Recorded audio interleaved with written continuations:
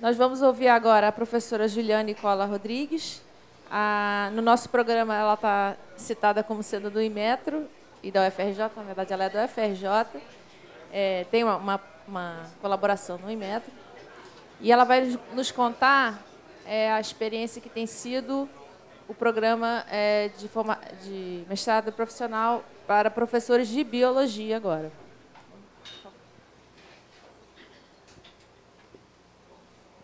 Bem, primeiramente gostaria de agradecer o convite da academia para estar aqui presente hoje. É, é, acho que eu tenho uma missão difícil aqui, que é apresentar o, o Profibio, né? na verdade, o nosso curso de mestrado profissional em Informação Científica para professores de Biologia, que não é, não é ainda um curso em rede, mas que é, o curso em rede, o Profibio deverá é, ser apresentado à CAPES até o início do ano que vem, no próximo APCN. Eu acredito que a partir de 2018 a gente tenha o Profibio em rede nacional estabelecido. Né? Então, o que eu vou contar aqui para vocês é a experiência, na verdade, a experiência do campus, opa, desculpa, do campus da UFRJ em Xerém, né? e que foi, né, junto com é, os institutos sede da UFRJ, proponente desse curso de mestrado profissional. Tá? É, muito se falou ontem e hoje, então vou passar rapidamente por esses slides, mas eu queria destacar é, duas questões importantes que é, é que no Brasil houve sim né, uma melhora significativa é, no número de matrículas e até uma melhora é, é, razoável na questão da educação. No entanto, isso não reflete em nada na qualidade do ensino. Né? É, os nossos testes, ah, os nossos testes, os nossos, a, a, o nosso desempenho no programa PISA é, é, é muito complicado, é muito, muito pífio, né? é muito é, insignificante. Né? E, e fica muito claro nessa tabela aqui, e eu acho que a gente não pode perder isso de vista em momento algum. O professor Marcelo hoje falou muito, bastante significativamente, que, na verdade, o, a maior parte dos alunos formados hoje na educação básica brasileira né, está abaixo do nível 2, bem abaixo do nível 1. Na verdade, se a gente for é, é, é, é falar efetivamente, 84% dos alunos que terminam a educação básica, no fundo, são analfabetos científicos. Né? A gente não leva muito isso em consideração, mas é, é o nosso nível está abaixo do mínimo que a gente precisa, não para ser engenheiro ou médico ou biólogo, mas sim para ser cidadão. Né? Cidadão que está no ambiente, na sociedade.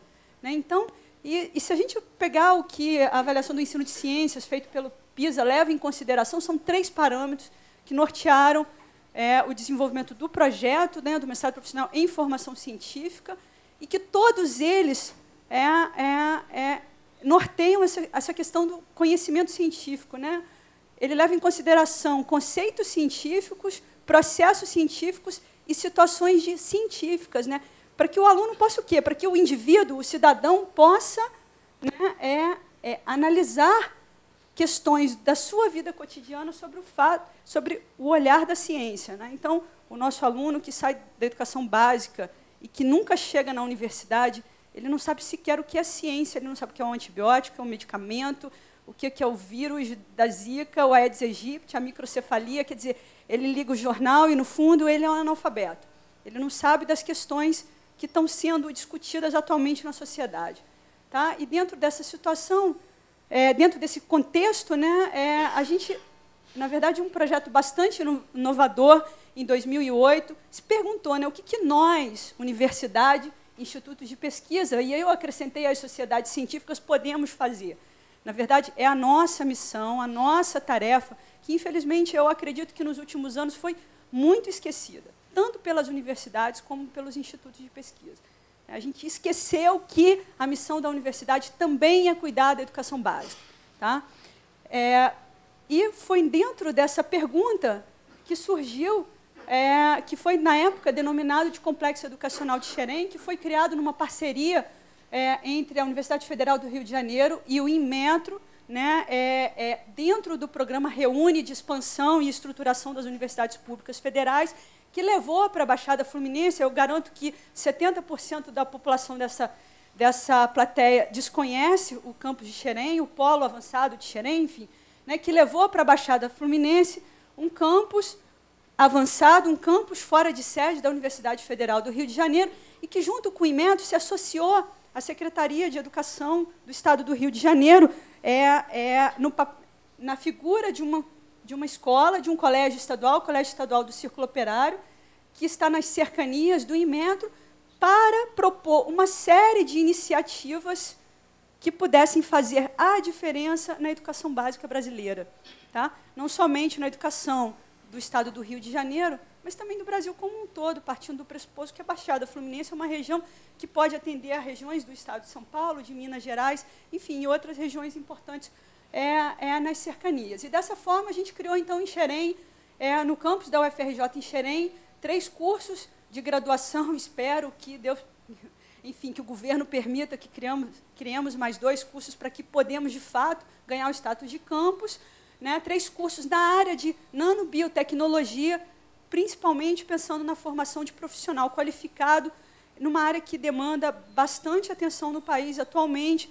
Né? É, e essa é uma região é, do Rio de Janeiro importante. É, a criação de um segundo curso técnico, é, talvez nem todo mundo sabe, mas o Inmetro tem um curso técnico é, em metrologia, que é ministrado no Colégio Estadual do Círculo Operário há mais de 10 anos, onde os alunos fazem um, um curso técnico concomitante. De manhã eles têm as aulas do ensino médio regular na escola, e durante a tarde eles têm aulas é, é, na, nos laboratórios e, e, salas de aula do Imetro, com pesquisadores do Imetro. Nós criamos nessa escola um curso de biotecnologia também nessa parceria. Né? É, ao grupo também coube a missão de criar um mestrado profissional em informação científica para professores de biologia, que está em funcionamento desde 2011, um conjunto de laboratórios que, nesse momento, é, funciona em módulos habitacionais, mas funciona né, no PEX-BIO, que são núcleos multidisciplinares de pesquisa. Atividades de extensão, que isso é uma outra coisa muito importante, né, com a chegada da universidade na região de Xerém, de Duque de Caxias. A gente é, é, tem atuado fortemente nessa, nessa área, bem como também foi criado no IMET um programa de pós-graduação em biotecnologia, mestrado e doutorado acadêmico, que já está em funcionamento há uns três anos, mais ou menos, e vem é, formando seus primeiros mestres e, e, futuramente o primeiro doutor. Tá? É, então, o Profib, o mestrado profissional em formação científica para professores de biologia, é, é um programa de pós-graduação é, que, que é composto por vários institutos e unidades da Universidade Federal do Rio de Janeiro, né, teve um estudo de biofísica, Carlos Chagas Filho, como proponente, no entanto, sem a participação do Instituto de Bioquímica Médica, do Instituto de Biologia e mesmo do Polo de Xerém, é, ele não podia ser possível, além de uma participação bastante significativa de pesquisadores do Inmetro que, são, que fazem parte do corpo docente permanente do curso atualmente. Tá? E uma coisa bastante interessante é que esse projeto, no fundo, na verdade, o Profib, o Polo de Xerém, de uma forma bastante interessante, é uma mistura saudável entre jovens e pesquisadores e professores da universidade é, sênios, que são a nossa, é, o nosso modelo que a gente gostaria de seguir e que permitiu fazer com que é, essa diversidade de idades é, fizesse com que o programa fosse bastante é, é, dinâmico e ativo e ousado, eu diria. Tá? Então, a nossa meta é formar mestres, professores dos ensinos fundamental e médio qualificados para atuarem como importantes transformadores, né, reflexivos e críticos. Né? Na verdade, a gente busca mestres capazes de continuar a autoformação, que essa é uma questão muito importante na biologia. Tá? É, não posso dar conteúdo hoje para eles se eles não conseguirem, daqui a um ano ou dois anos, atualizarem esse conteúdo. E essa é uma questão importante que deve ser levada em consideração. Tá? Podendo, assim, fazer o quê? Né? Ensinar os seus alunos a interpretar fatos e fenômenos sob o olhar da ciência. Tá? Então, o perfil do profissional que a gente espera é um profissional que seja capaz de melhorar a compreensão e a exposição do conteúdo teórico, né, buscando aprofundar em questões atuais, elaborar aulas práticas em laboratórios ou é, laboratórios virtuais ou reais né, para observação dos conceitos biológicos. Isso é algo que na biologia faz muita diferença. Tá? Desenvolver novas ferramentas, ele possa desenvolver na escola dele ferramentas que vai melhorar a prática diária dele em sala de aula. Tá? E uma outra questão importante, que é usar a internet como ferramenta de consulta e aprendizado próprio. Tá? E também em atividade junto aos seus alunos. A internet hoje é fonte de conhecimento e desconhecimento. E a gente tem que ter isso muito em mente. Tá? Então, o curso tem uma característica, enfim, é, como foi mostrado por vários aqui, a duração de 24 meses. A nossa experiência atualmente aqui, ele precisa de mais de 24 meses para fazer a carga didática e, e desenvolver os, os, os projetos. Tá? Então, a maioria das dissertações hoje tem sido defendidas entre 30 e 36 meses. Tá? A carga horária ela é dividida em três diferentes atividades, que são disciplinas cursadas entre obrigatórias e optativas, estágio em laboratório de pesquisa, e o projeto de conclusão tem uma carga horária. Tá? Atividades presenciais, a gente tenta atividades à distância, mas nesse momento é algo que precisa ser bastante questionado e importante. Né? É, é, as atividades presenciais estão concentradas em dois dias, Começamos com cinco horas, mas agora o aluno ele se dedica integralmente ao curso durante é, esses dois dias, quinta e sexta-feira, de 8 às 5 da tarde. Tá? As linhas de pesquisa é, do programa, desse programa de pós-graduação, né, envolve as diferentes áreas do conhecimento da biologia, que é bastante diversificado. Eu acho que esse é o nosso maior desafio, é conseguir atender todas as áreas da biologia, partindo do pressuposto que o professor de biologia ele dá aula é para os três anos do ensino médio e não podemos esquecer do ensino fundamental. A grande maioria dos professores é, de biologia hoje dão aula também no ensino fundamental. Eles têm uma matrícula no estado, onde eles dão aula no ensino médio, e uma matrícula no município, onde dão no fundamental. E no fundamental é física e química. Isso, inclusive, é algo que precisa ser repensado pelas secretarias de educação, tá? porque o professor de biologia não tem formação é, em física e química para ser professor de física e química do ensino fundamental. Tá? É, o núcleo de disciplinas obrigatórias tenta atender a um conjunto diversificado de temas da biologia. Isso é uma outra questão que hoje a gente está revendo, inclusive à luz do Prof. Bio em rede nacional, que vai ter uma carga de, de disciplinas é, bastante diferenciada é, do que nós propusemos inicialmente, e depois de quatro anos em funcionamento, a gente também questiona se esse modelo, ou se essas disciplinas são efetivamente mas a ideia, quando foi, é, é, é, quando foi montado o curso, é que a gente pudesse atender as diferentes áreas da biologia que o professor obrigatoriamente dá aula. Não existe um professor de biologia que dá aula só para o primeiro ano ou para o segundo. Tá? A gente tem um conjunto de disciplinas optativas, algumas pro, provavelmente poderão, em breve, numa mudança curricular se tornarem obrigatórias, como a metodologia científica, disciplinas que são muito interessantes, como conceitos de física e química para professores de biologia, que também já foi bastante questionado por vários colegas, mas que é importante. Tá? É, e aí, alguns números interessantes do curso até o presente momento. Né? Atualmente, hoje, a gente tem 51 alunos matriculados e 38 egressos. Tá? Então, de dezembro de 2013, novembro de 2013, quando foi defendida a primeira dissertação, até o presente momento, temos 38 egressos. A grande maioria, 90% é professor é, da escola pública. A faixa etária varia entre 26 anos e 63 anos, quer dizer, a gente tem o aluno que acabou de sair da graduação, mas aquele que está próximo da, da aposentadoria, mas que ainda assim também está tentando se renovar para ficar os últimos anos. O tempo mínimo de formado né, desse, dessa população é de um ano até 33 anos. E desde 2013, na, na verdade, desde 2011, quando o curso começou, entrou em funcionamento, a gente atendeu alunos provenientes de cidades as mais variadas possíveis aqui do Rio de Janeiro, mas também temos alunos atualmente do Espírito Santo e de Minas Gerais. Né? Isso só mostra a necessidade real de que o curso venha a ser em rede nacional. Tá? Então, até, é, até 2013, esse slide, enfim, até 2013, mas até 2014, praticamente, nós temos 23 municípios atendidos e 68 escolas públicas. Tá? É, então, alguns exemplos, eu trouxe alguns exemplos das dissertações que vêm sendo é, elaboradas é, por alunos do curso, né? e, e junto, em conjunto com seus orientadores. Essa foi a primeira dissertação defendida no programa, em novembro de 2013, né, que é a produção de histórias em quadrinhos, ferramenta de ensino pra, para problematização de questões ambientais e postura de consumo. Essa foi uma dissertação bastante interessante, porque a professora desenvolveu em sala de aula com os seus alunos uma história em quadrinho, né, que depois foi elaborada por um técnico e deu origem a um, um, um enfim, um técnico em web design, né, a, a, um gibi que foi chamado de Marley e seus amigos em Salvando o Planeta. Tá? E ao final dessa história em quadrinhos, o personagem dá várias dicas de como minimizar os impactos que cada um de nós diariamente produzimos ao meio ambiente. Tá?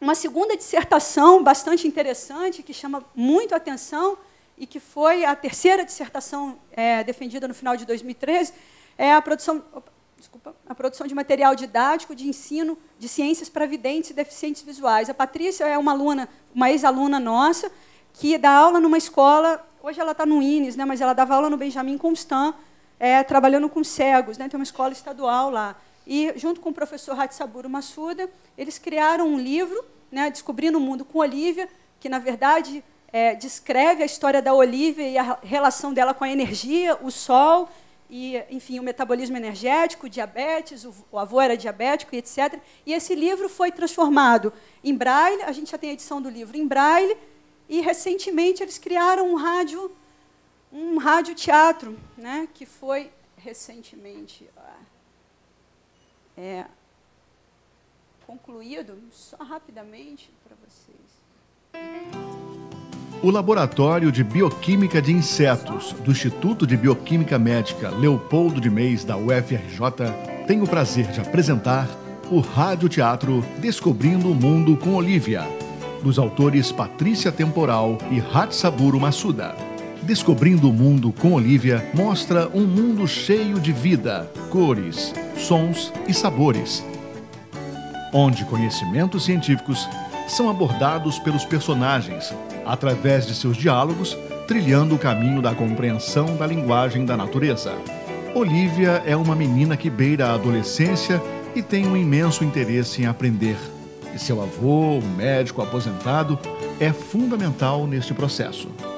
Orientada por ele, Olivia começa a se inteirar de diversos assuntos pertinentes à vida e percebe a relação entre escola e vida real, o que até então lhe parecia dois horizontes distintos. Exatamente. As... O motivo pelo qual nós estamos aqui hoje discutindo o papel da universidade na educação básica brasileira, tá?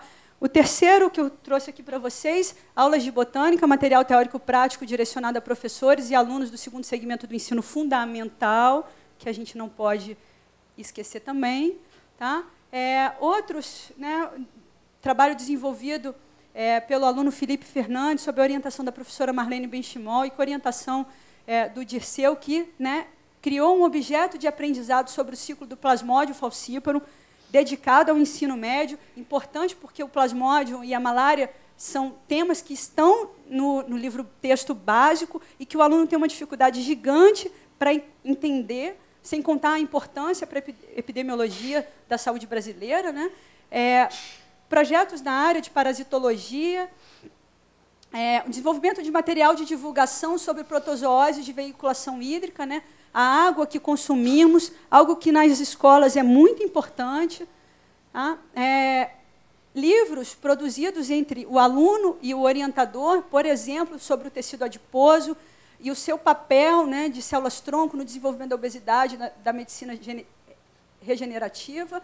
É, é, esse é um outro exemplo interessante. Isso aqui está tudo disponível no YouTube já, mas não, não, é possível mostrar aqui. Alternativas na avaliação e ensino de microbiologia para a inclusão de alunos surdos, que é um outro questionamento importante, uma outra questão importante. Então, a Tássia é professora do INES e dá aula é, em Libras de biologia. Ela é professora de biologia e dá aula em Libras e desenvolveu um conjunto de aulas é, é para alunos surdos. Tá? várias dissertações, por exemplo, que produziram jogos. Eu coloquei isso aqui hoje, porque ontem foi mencionado a questão de é, criar é, materiais e avaliar em sala de aula. Temos tentado fazer avaliações do quão eficientes são esses materiais no ambiente de sala de aula, e confesso que essa é uma outra questão importante, porque alguns resultados não são positivos em termos de melhora, até que ponto materiais é, paradidáticos, de fato, vão contribuir, até porque tem uma questão importante: a escola também precisa mudar a sua maneira de ensinar e organizar o seu próprio currículo. Tá? Então, isso é uma questão importante. Dissertações com temas bastante interessantes que discutem na escola, por exemplo, a questão de recursos hídricos e políticas públicas. Um outro aqui, o papel da escola no enfrentamento das questões ambientais locais. Essa é uma escola de Duque de Caxias que vive numa região que toda vez que chove alaga. Enfim, o curso tem um site, é xerem.ufrj.br barra profibio. Tá? Eu não sei até que até que ponto nós continuaremos como Profibio, se o curso vai deixar de existir e nós passaremos a ser parte do, do curso em rede nacional. Estamos nessa discussão agora, tá? e isso é uma decisão que deverá ser tomada ao longo dos próximos meses. A gente ainda não sabe exatamente como continuar. Tá? Mas aí eu queria deixar, para finalizar minha apresentação, né, que todos devem aprender ciência como parte de sua formação são cidadã, que possibilite a atuação social responsável e com discernimento diante de um mundo cada dia mais complexo. Isso está nas orientações dos parâmetros curriculares do ensino médio, né? só que é, é puramente teórico, a prática é muito distante. E, na verdade, a nossa maior responsabilidade hoje da universidade, eu acredito, é, depois de coordenar esse curso por três, quase quatro anos, e é, estando num projeto inovador voltado para a educação, eu acredito que é, muitas vezes a gente acha que a nossa responsabilidade está em produzir papers científicos, está também, mas talvez tanto mais em atuar e resgatar o ensino de ciências com o ensino de ciências com base no método científico, né? tentando reverter o cenário atual de quase analfabetismo científico. É, para a gente que está começando na universidade agora e tem uma carreira de 30 anos ainda pela frente, o motivo pelo qual a gente embarcou na aventura de fazer o Profibio, ainda local, de tentar é ampliar a interação da universidade com as escolas da educação básica, que é o que a gente tem tentado agora de forma bastante efetiva, é que se a gente não fizer isso agora, nós não teremos os nossos futuros alunos de iniciação científica, a pós-graduação tende a extinguir, afinal de contas, é aí que está a base para a continuação do nosso trabalho, inclusive no mestrado e doutorado acadêmico. Tá? Então, esse é o meu recado, é, e eu gostaria de agradecer é, o convite.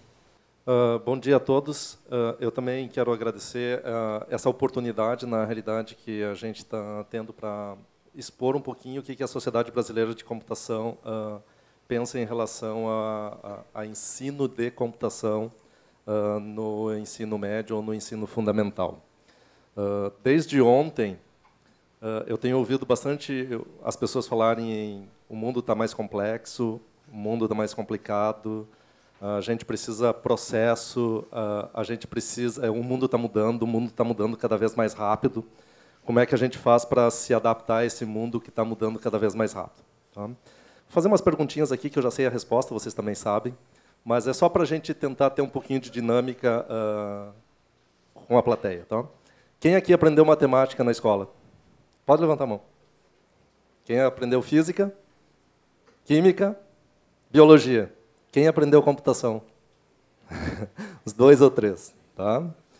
Uh, isso é para vocês verem assim uh, uh, a importância da gente estar tá aqui falando. Tá? A computação está falando. Só deixa eu fazer uma outra pergunta. Foram dois ou três que levantaram a mão na hora que eu perguntei quem aprendeu computação. Né? Quem aqui usa computação? Todos. Tá? Computação hoje ela é essencial. Não tem quem não use. A sociedade ela se mudou tanto ontem também, agora eu não me lembro bem as palavras que alguém falou aqui, que era assim, o nosso aluno hoje é um aluno da era digital, o aluno que está vindo aí é um aluno que é da era das redes sociais. Já. A, a gurizada lá de 3, 4 anos, 2, 3 anos já usam né, uh, equipamentos. Isso já está no sangue deles. Eu tenho uma filha de 18 anos, e o, o, telefone celular dela, que não é um telefone celular, né? todo mundo já sabe que, na realidade, o, o que a gente tem é um computador, que tu também pode falar, mas tu faz de tudo com o telefone celular. Tu escreve texto, tu troca e-mail, tu uh, olha para o mercado financeiro, tu pode programar com o teu telefone celular, tu pode fazer o que tu quiseres com ele. Ele é um computador bem mais potente do que os computadores que a gente tinha na década de 80.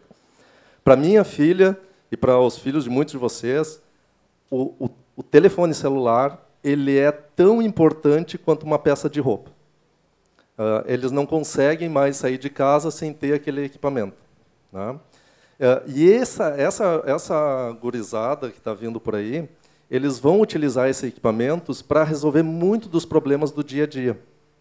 Só que, e aí é que a gente vai chegar talvez lá na frente, é, será que eles estão sendo preparados lá no ensino fundamental e no ensino médio para conseguir tirar o melhor proveito uh, dessa tecnologia, Será que eles conseguem resolver os problemas de uma maneira ah, com processo, de uma maneira bem estruturada? Uh, a gente está fazendo muita pesquisa em relação a isso, tem muito uh, acontecendo. Né? A gente também não tem todas as respostas, mas algo que a gente sabe e que é certo é que computação ela é uma ferramenta, ela é um, um, uma matéria que ela vai ser essencial para o futuro e a gente vai ver até o final da minha apresentação.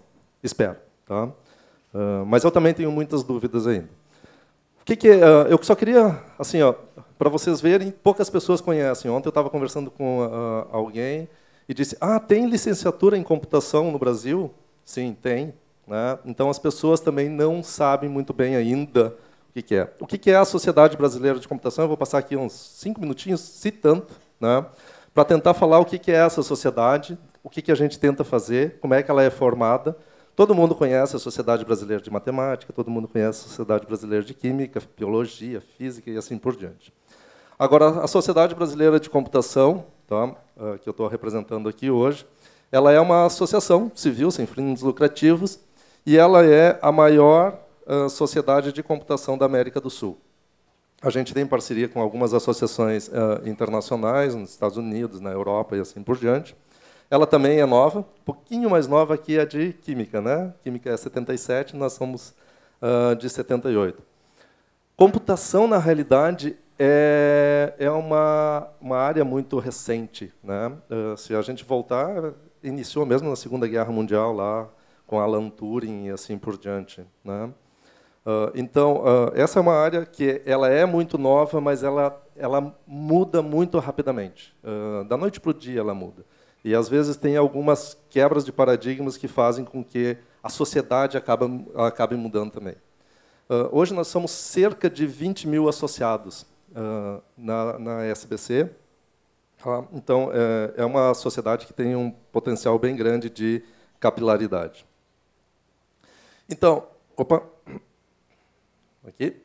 Então, Algo que é importante para que ela faz, né? Na realidade, a gente está aqui para incentivar atividades de ensino, pesquisa e extensão, né? Seja para o estudante, professor, pesquisador ou profissional na, no mercado. Tá? E se vocês olharem, é computação e áreas afins. Nós temos, uh, nós somos muito próximos de muitas áreas. Uh, depois eu vou falar um pouquinho dos cursos, mas nós estamos muito próximos das engenharias, seja engenharia de produção, seja engenharia elétrica. Nós estamos muito próximos da matemática. Nós estamos próximo até da filosofia. Né? A gente está próximo da administração. Então, a, a, computação ela tem diversas áreas onde a gente se aproxima muito e a gente a, aprende muito com essas outras áreas. Deixa eu usar isso aqui. Uh, basicamente, a gente é uma, tem uma equipe administrativa, mais associados voluntários. Eu atualmente estou. Skip. é, quem manda eu não ficar atualizando o software, né? Mas, uh, então, uh, nós somos uma diretoria, eu sou atualmente diretor de educação, tenho um presidente, depois tem diversas diretorias, são todos voluntários. Né? Tem um conselho, tem comissões, comissões de educação, uh, secretarias regionais, representantes institucionais, representações estudantis. A gente está espalhado pelo Brasil todo. Né? E a gente está aí, então, para a questão de ensino, pesquisa, a parte mais social, a parte de política e assim por diante. Aqui tem algumas uh, das atividades que a gente desenvolve, eu não vou uh, passar por todas elas, mas assim como as outras sociedades, a gente também trabalha com publicação de livros, de revistas, a gente atua muito fortemente nas diretrizes curriculares e currículos de referência da área, né? fóruns de pós-graduação e, e graduação.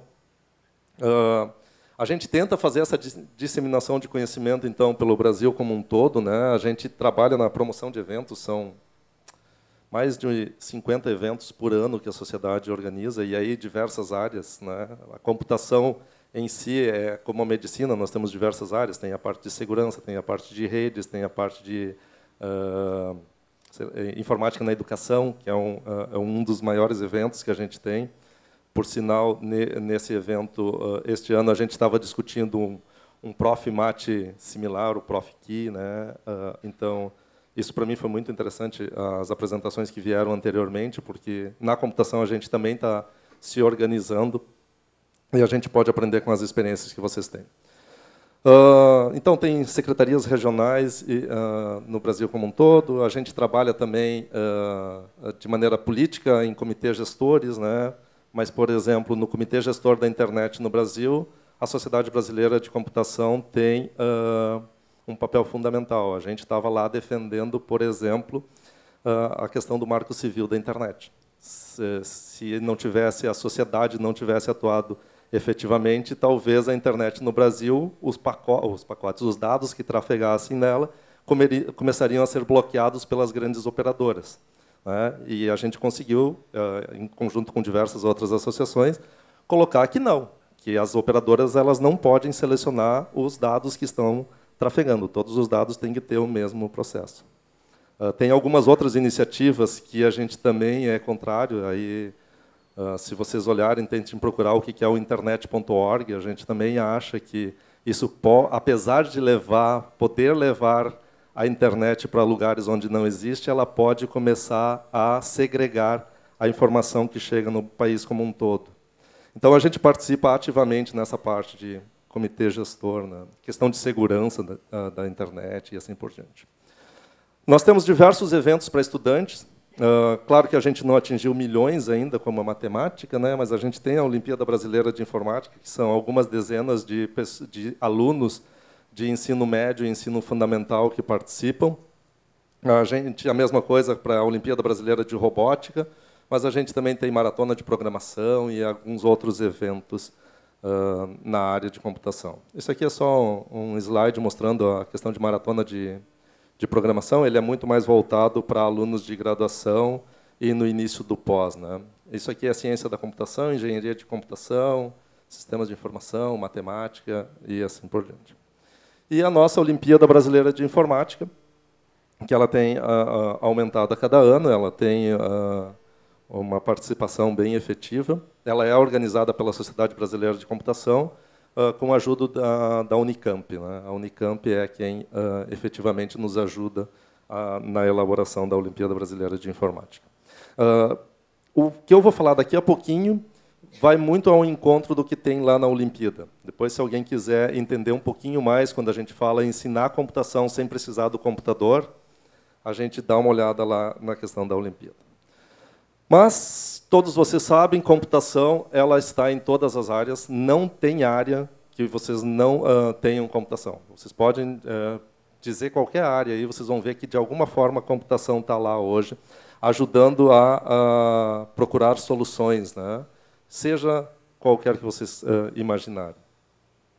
Aqui tem uma fala de um, de um dos caras importantes na nossa área que se chama Dijkstra, né? E, e, eu acho que é legal isso aqui porque muita gente vê ciência da computação como computador. Né? E ciência da computação não é só o computador. Então, o que ele coloca ali, que ciência da computação é, tem tanto a ver com o computador como a astronomia para o telescópio, a biologia para o microscópio ou a química com os tubos de ensaio. O computador é uma ferramenta que a gente usa. Mas a gente trabalha com algo que é muito mais do que isso. Né? A gente usa essas ferramentas para ver o que, que a gente pode fazer com elas efetivamente. Tá? Uh, claro que a computação hoje, se vocês, eu, eu, imagino que muitos de vocês veem a computação como sendo uma ferramenta para as áreas que vocês utilizam, o que é certo, mas na computação a gente faz muito mais do que isso. Uh, para vocês terem uma ideia, os cursos de graduação que a gente tem, eu vou, não vou descrever cada um deles, senão não vai dar tempo, tá? mas tem um em específico aqui que eu quero falar, que é a licenciatura em computação, que tem três aspectos aqui que são importantíssimos da gente olhar. Primeiro, esse mundo cada vez mais tecnológico e global. A questão de o que a gente chama de pensamento computacional e algorítmico. Como é que a gente faz para colocar isso na uh, esse tópico né, na educação básica, para ajudar a resolução de problemas, que seja transversal a todas as áreas do conhecimento. E o outro que é o que é mais conhecido, que é a computação como uma ferramenta lá na educação para nos ajudar na matemática, na química, na física, na biologia e assim por diante. Tá? Eu vou sair daqui e vou colocar um videozinho opa, que eu acho que traz um pouquinho da ideia. Deixa eu ver se eu consigo ajustar. Agora mexeu no tamanho. Acho que assim já está bom. É um videozinho de dois, três minutos. Uh, deixa eu ver se eu alcanço aqui.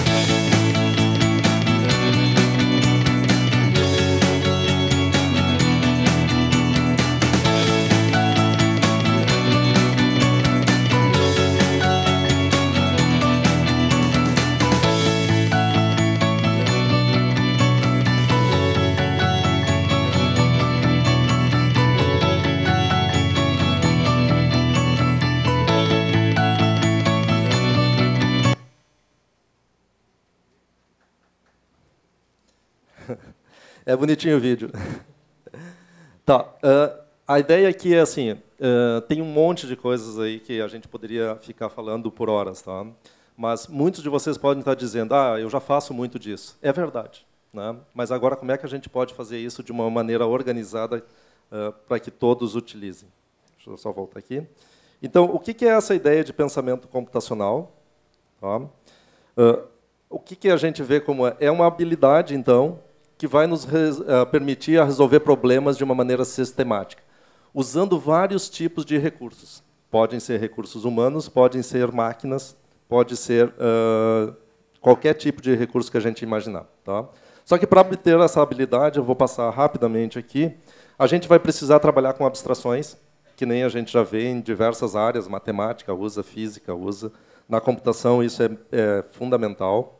A gente tem que trabalhar com técnicas para dominar a complexidade, ou seja, os problemas eles estão ficando cada vez mais complexos, então a gente tem que trabalhar com, uh, com uh, técnicas tipo dividir para conquistar, compor, né, utilizar recursividade e assim por diante. A gente tem que tentar uh, usar técnicas para transformar um problema em outro, ou seja, que a gente consiga adaptar soluções já existentes né, para um, resolver uma solução nova e assim por diante. Eu tenho umas histórias que são bem legais. Uh, essa eu tenho que falar. Uh, eu tenho uma colega, apesar do tempo estar correndo, mas eu tenho que falar. tem uma colega minha que ela trabalha com simulação de multidões. Ela fez a simulação do Engenhão, ela fez simulação de algumas boates, principalmente depois daquele problema que a gente teve na, na KISS, uh, lá no Rio Grande do Sul, ela foi chamada para fazer um monte de modelos simulados.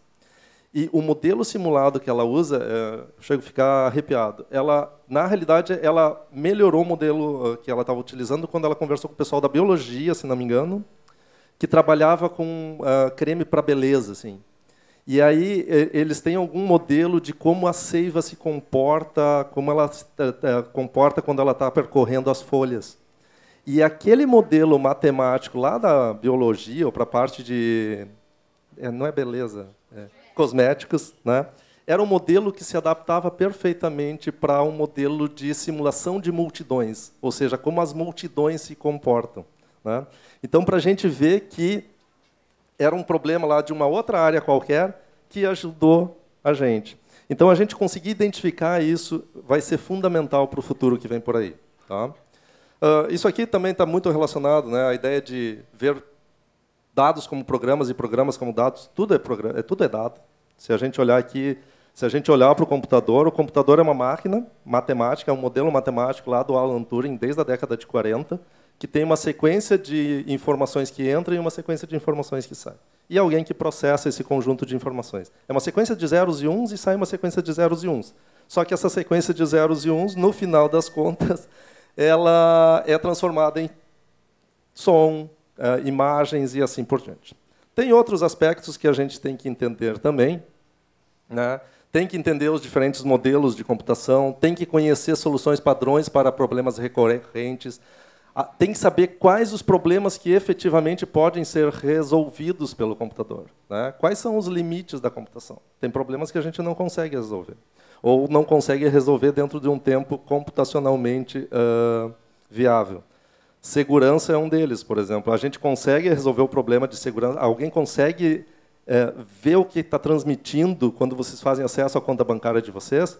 Conseguem. É possível resolver o problema de tentar identificar e decifrar o que está lá? Sim, é possível. Só que vai levar algumas centenas de anos, né, por alguns problemas da matemática que não foram resolvidos ainda.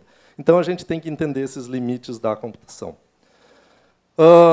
Aqui tem alguns aspectos, né? Então ela é uma habilidade que é similar a ler, escrever, falar e realizar operações matemáticas. Se a gente voltar no passado, a gente vai ver que no início as pessoas não falavam, né? Depois as pessoas não liam, depois as pessoas não uh, realizavam uh, operações matemáticas e assim sucessivamente. Foram habilidades que a, a, a, humanidade foi adquirindo com o passar dos anos. E a gente acredita que a gente está numa nova fase e computação ela vai ser importante. Claro que essa nova habilidade ela vai ser alicerçada nesses, nessas outras habilidades, né? essa questão de alto poder uh, e assim por diante. Isso aqui tem que ficar muito claro. A nossa, o que a gente está advogando não é ensinar programação. Programação é o resultado de tu ter essa ideia de pensamento computacional. Não é a ideia de usar ferramentas computacionais na escola. Tá? O que a gente está falando aqui é ensinar computação. Claro que tem diversos desafios, eu vou passar rápido por eles, mas mudanças curriculares, é, tem que ser uma, uma, disciplina como matemática, que conceitos que têm que ser trabalhados, que séries. Né? Uh, mas tem que mudar essa questão de simplesmente uh, uh, ensinar o uso de recursos. A gurizada que está entrando na, nas escolas hoje, eles já sabem usar. Tá? Tem que formar professores que entendam essa ideia de pensamento computacional. Tem que haver políticas públicas né, para que isso se torne uma realidade. E tem que quebrar paradigmas. Que é aquela minha perguntinha lá do início da apresentação é quem aprendeu matemática, quem aprendeu, quem aprendeu computação. Então, muitas pessoas que não sabem o que é computação, que não aprenderam isso, tem muitas resistências. Como é que a gente faz para quebrar essas resistências? Isso é um, é um, trabalho que vai, vai levar tempo, mas vai acontecer, tá, pessoal? Uh, e para terminar, eu sei que já passei meu tempo, eu só quero passar mais um videozinho, eu acho que reforça a importância. Uh, acho que está aqui. De como é que alguns países estão.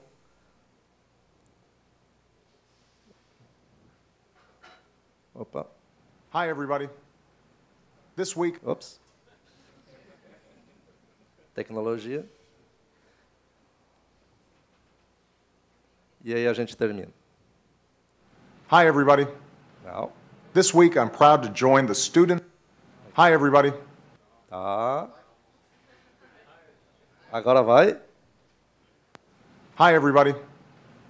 This week I'm proud to join the students, teachers, businesses, and nonprofit organizations taking big new steps to support computer science in America's schools. Learning these skills isn't just important for your future, it's important for our country's future. If we want America to stay on the cutting edge, we need young Americans like you to master the tools and technology that will change the way we do just about everything. That's why I'm asking you to get involved. Don't just buy a new video game, make one. Don't just download the latest app, help design it. Don't just play on your phone, program it. No one's born a computer scientist, but with a little hard work and some math and science, just about anyone can become one. This week is your chance to give it a shot. And don't let anyone tell you you can't. Whether you're a young man or a young woman, whether you live in a city or a rural area, computers are going to be a big part of your future. And if you're willing to work and study hard, that future is yours to shape. Thanks, everybody. Pessoal, uh, Isso é só para dar uma ideia. Isso é um vídeo já de dois ou três anos, tá? Eh, eu sei que a gente tem um monte de problemas, como foram mencionados aqui na matemática, na biologia, na química, na física, mas a gente também não pode ficar atrás.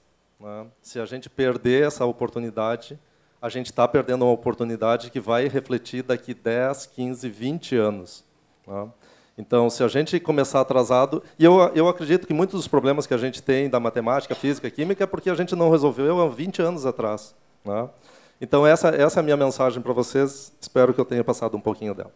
Obrigado. Eu queria convidar os palestrantes a comporem a mesa para a gente iniciar a discussão. Queria fazer uma questão aqui. É, então, os mestrados profissionais eles sugerem é, atividades, é, produtos de experimentação com computadores ou utilização de internet, devido à falta de laboratórios físicos nas escolas. É, a SBC sugere até também o ensino de computação, mas pelo que eu entendi, não é só de programação, né? É, mas qual é a nossa realidade? Né? As escolas, muitas ainda não possuem laboratórios de informática. Os laboratórios que a maioria das escolas possuem, principalmente públicas, estão sucateados, sem atualização. Principalmente é, no próximo ano, com certeza não deve ter verba para esse essa atualização. Se eu não me engano, os computadores da minha escola são de 2007. É, a internet, a banda larga nas escolas é de baixíssima qualidade, na minha escola é de 1 mega. E tem Wi-Fi, mas não funciona, infelizmente. Principalmente os roteadores que estão velhos, alguns que já queimaram e tudo mais. Né? Então a questão é como reverter esse quadro. Né? E uma hipótese, cobrar o MEC e as redes de ensino melhorias? Okay, obrigado.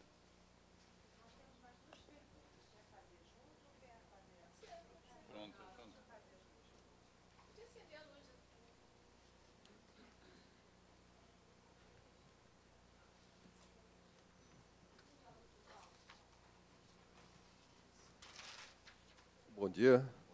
É, professor do Instituto Federal de Educação de São Paulo.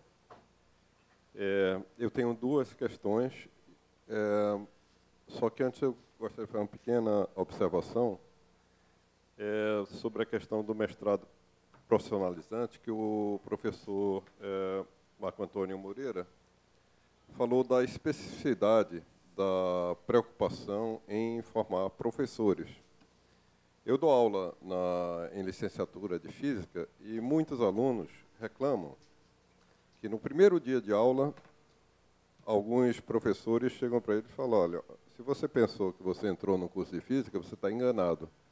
Você entrou num curso de licenciatura de física, você vai ser professor. Acontece que todos nós da área de física, nós sabemos que é um grande estímulo para a pessoa, a pessoa atuar na, na área de física é a imaginação, é o lúdico da imaginação, é a ficção também. E alguns professores falam, inclusive é uma divergência entre nós lá, que a gente não pode enganar os alunos. Eles vão ser professores de física. Bom, aí o curso acontece. Eu dou aula no sétimo semestre. Aí os alunos reclamam da carga excessiva da parte pedagógica, o que eu, na verdade, discordo deles, que eu acho que é extremamente importante a questão da formação pedagógica.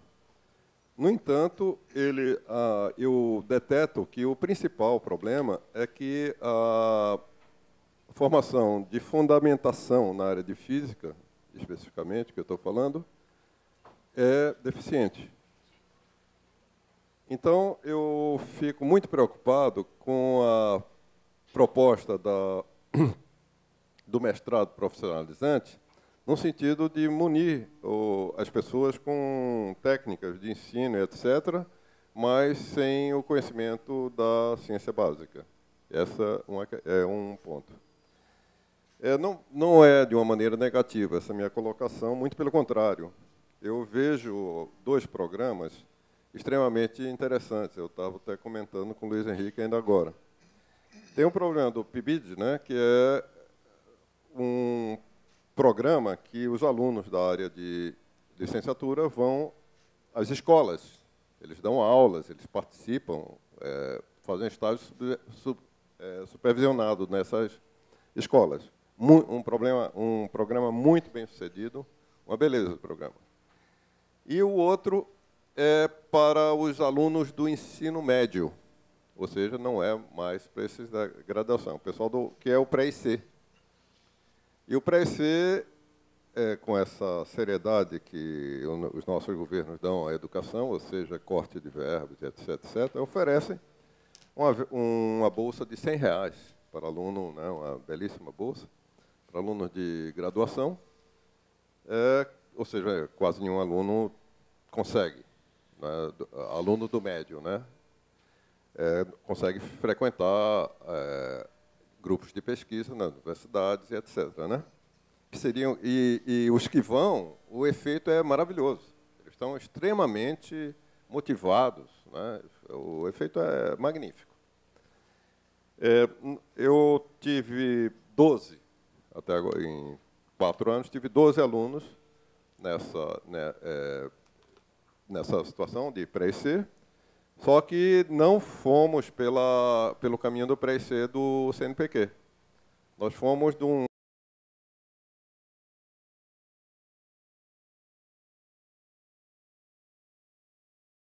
uma bolsa maravilhosa de 161 reais, né? Não, não paga nem a passagem da moçada e o lanche. Então é uma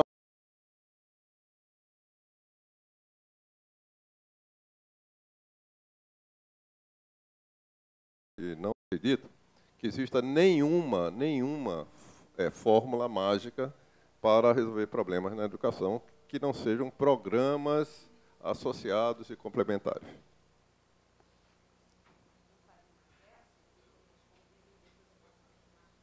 Acho que ela vai ter a terceira pergunta. É, bom dia. É, eu sou Luciana Martina, professora do Colégio Pedro II, e eu gostaria de fazer uma pergunta é voltado ao professor Marcelo Viana, especificamente. Esse ano de 2015, é, eu atuei exclusivamente com alunos de primeiro e segundo ano do ensino médio e também como professora do Profimate no Polo do Pedro II, que começou a atuar este ano. É, gostaria de falar da crise, da crise do ensino, que o professor citou durante a sua, durante a sua apresentação, que se, for, se mostra de forma mais aguçada no, nos anos finais da escolaridade, no ensino médio. Quanto mais alto o nível de escolaridade, maior o interesse do aluno pelo estudo da matemática em particular. É, eu citei ontem ainda aqui nesse auditório, é, o abismo entre a universidade e o ensino médio, que o professor também ajudou a esclarecer, é, elucidando que o Profimat, de certa forma, ele ajuda a transpor esse abismo, é, fornecendo ao professor do ensino médio conteúdos que talvez não tenham sido muito bem vistos é, durante o seu curso de graduação.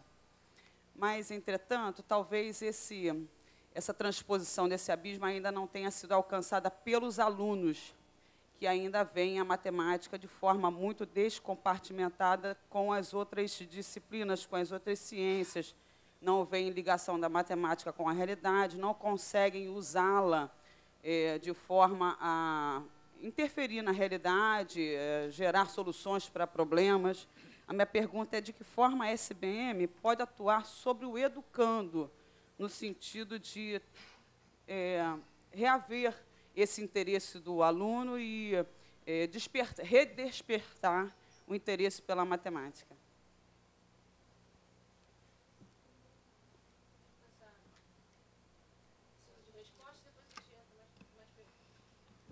Bom, eu acho que eu vou responder a questão do pré-IC, que eu acho que é uma... É, a Universidade de São Paulo recebe um número, eu vou falar em nome da Universidade de São Paulo agora com o meu chapéu de...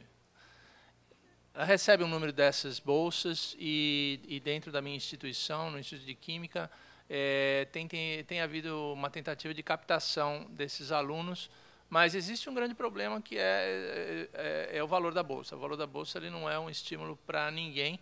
Existe também uma uh, outra dificuldade, que é a identificação de eh, escolas dispostas a colaborar com a universidade. Uh, a Universidade de São Paulo, em especial, tem um, um programa chamado eh, Embaixadores da USP, alguma coisa assim, que é um grupo de professores que tenta levar uma pequena palavra do que é a Universidade de São Paulo para o aluno da escola do ensino médio, uma medida de marketing da universidade, porque a Universidade de São Paulo tem, ela sofre né, desse preconceito de que é inatingível, que é um absoluto preconceito. Né? E, o, e o maior provedor desse preconceito é o próprio professor da escola. E muitas vezes o nosso embaixador é, não consegue acesso à escola. Ele não consegue acesso àquela escola porque o professor acha que os seus alunos não têm nível para vir para a USP e coisa e tal. Então, é essa aproximação com a da, da universidade escola, que foi levantada aqui mais de uma vez, ela é deficitária. Ela é deficitária e é difícil identificar esses alunos. Uh, não é, é pura e simples o valor da bolsa. Claro que o valor da bolsa é, é um problema, mas não é, é exclusivamente esse o único problema de acesso a esses alunos. Existe, de fato, uma, uma separação que precisa ser vencida, uma energia de, de ativação, aí, uma barreira de ativação que precisa ser vencida. Eu tenho, uh, pessoalmente, eu tenho uma outra experiência, porque eu tenho uh, no meu laboratório uma bolsa da FAPESP, que é outro valor, e que trouxe, sim, um aluno de altíssimo nível do segundo, do segundo ano do ensino médio, e que está trabalhando no meu laboratório fazendo estágio de pré-IC. Na verdade, chama TT, treinamento técnico, mas é, é, basicamente a mesma coisa. E é um programa absolutamente sensacional. O aluno passa a ter uma outra visão do que, que é a sua própria uh, ensino de ciências em geral na sua unidade. Então, é, eu não sei qual que é a fórmula, mas é, eu sei exatamente onde é o problema. O problema da aproximação da universidade com uh, a escola hoje, esse canal ele é muito frágil. Então, eu, esse é o problema com o pré-IC. Eu creio que talvez eu não tenha sido claro na minha exposição em relação aos conteúdos, mas o Profis ele é 50% do currículo em conteúdos. E outra vez, nas, nos produtos educacionais, o conteúdo de física também está envolvido. Por exemplo, eu já orientei uma unidade de ensino sobre plasma, outra unidade de ensino sobre estados quânticos e superposição de estados, Seja, então, nós temos muita ênfase em conteúdos. Aliás, nós somos criticados como conteudistas. Eu não tenho vergonha de ser conteudista. Eu acho que não se consegue ensinar física sem dominar os conteúdos. Não? E pego um gancho com o Perrenu. O Perrenu diz que competências sem conteúdos não tem sentido. Assim como conteúdos sem saber fazer nada com conteúdo não tem sentido. Nós queremos conteúdos, só que nós não queremos que tenham o mesmo enfoque que se dá num mestrado em física pura ou física dura, como dizem. Tá? Mas queremos sim conteúdos. É, posso talvez é, responder a questão da colega do Pedro II. É, o problema da motivação dos alunos é um problema complexo e, no caso do Brasil, é um problema gigantesco também. Nós temos 50 milhões de crianças nas escolas. A minha pequena experiência, baseada em parte no contato com meu filho, mas não exclusivamente, é que esses 50 milhões começam gostando de matemática e terminam odiando matemática ou, ou tendo medo da matemática que é tão ruim quanto. Então tem um processo que está acontecendo nas escolas com esses 50 milhões, que do, ao qual sobrevivem alguns, mas que, de um modo geral, é muito danoso para as vocações, é, não só de matemática, mas científicas e tecnológicas. O que a SBM pode fazer nesse sentido é, evidentemente, muito limitado. Eu, ouvindo o colega da computação dizer qual o tamanho da Sociedade Brasileira de Computação, fiquei com inveja. A nossa é dez vezes menor em número de assinantes. Nós temos um grande orgulho de ter 2.001 pagantes hoje. É, então, é, é, a nossa capacidade de intervenção, evidentemente, é limitada. Isso não quer dizer que não exista, e, e, e também não devemos reinventar a roda. As Olimpíadas Matemáticas são, antes de serem uma competição, são um instrumento para para apresentar a matemática sobre um ângulo que a, sala de aula normalmente não apresenta e que tem uma componente lúdica e, e de competição que é extremamente motivadora. Agora, eu queria... É, a gente não pode parar por aí. E eu vou, professora, desavergonhadamente aproveitar a sua pergunta para fazer propaganda de atividades não só da SBM, também do IMPA, é, que são inspiradas pelo fato de que nos dois anos de 2017 e 2018 nós vamos estar sediando aqui no Rio de Janeiro dois grandes eventos. Em, dois, em julho de 2017, a Olimpíada Internacional de Matemática, é que tem a participação de cerca de mil adolescentes vindos de mais de 100 países e que é a, a Copa do Mundo das Olimpíadas de Matemática. É, a percepção que alguns de nós têm é que o Brasil, embora tenha bom desempenho nessa Olimpíada Internacional, poderia ser melhor, poderia tem espaço para crescer eh, nesse, nesse e, a, e, a, circunstância de que nós vamos pela primeira vez organizar a Olimpíada ajuda muito nessa nessa direção. E em 2018 vamos sediar em agosto aqui também no Rio de Janeiro o Congresso Internacional de Matemáticos, que é o grande evento da pesquisa em matemática aquele congresso em que são é, anunciados e, e, os vencedores da, da, da, medalha Fields. E também vai ser a primeira vez que esse congresso vai ser realizado no Hemisfério Sul. Então, nós vemos é, esses dois eventos como um pretexto para fazer muito barulho em torno da divulgação da matemática e em torno de apresentar a matemática para a sociedade e para as, para as crianças de um ponto de vista diferente, motivador está tramitando no, no, Congresso Nacional uma lei declarando esses dois anos o biênio da matemática no Brasil. Está é, praticamente aprovado na Câmara dos Deputados e, em seguida, passará para o Senado e se tornará lei. E essa lei é uma proclamação do Estado brasileiro de que, durante dois anos, a matemática terá uma, deverá ter uma projeção é, essa projeção nós temos que construí-la, evidentemente, mas a, eh, deverá ter uma projeção e um destaque, como tem sido dado a outras, a outras ciências, outras áreas do conhecimento. 2015 é o ano da luz no Brasil. Então, vamos aproveitar esses dois anos para é, organizar, além dos eventos, uma série de atividades. E é, a ideia é que essas atividades aconteçam no país todo, mas inevitavelmente vai haver um foco de concentração aqui no Rio de Janeiro, em parte porque nós, mais envolvidos diretamente na organização, estamos baseados no Rio de Janeiro. Em particular, nós queremos fazer um grande festival da matemática, que é, seja uma espécie de ponto de encontro das crianças, das escolas, dos seus professores e, e também, evidentemente, da comunidade acadêmica universitária. É, volto ao início. Como é que você faz isso com uma organização que tem 2.001 pagantes? Você tem que é, encontrar parceiros e o principal parceiro aí, na nossa visão, primeiro e mais óbvio, é a comunidade de professores das escolas, que não são 2.001, são da ordem de milhões. Então, em parte, é, é, o que eu mencionei há pouco da criação da NP Mates também é com essa visão de que nós só poderemos chegar a tocar nos alunos nas escolas, só poderemos ter algum efeito se nós tivermos os canais de comunicação e os parceiros adequados. Ou seja, professor, eu estou devolvendo a sua pergunta com um convite para todos e todas colaborarem nesse, nesse processo. É extremamente difícil, ainda mais quando você tem a competição é, de todos os, os, atrativos da vida moderna, televisão, videogames, etc. Eu vejo lá em casa. Em casa temos uma regra que videogame só depois de fazer o dever de casa. Mas não é uma regra fácil de implementar e tem resistências.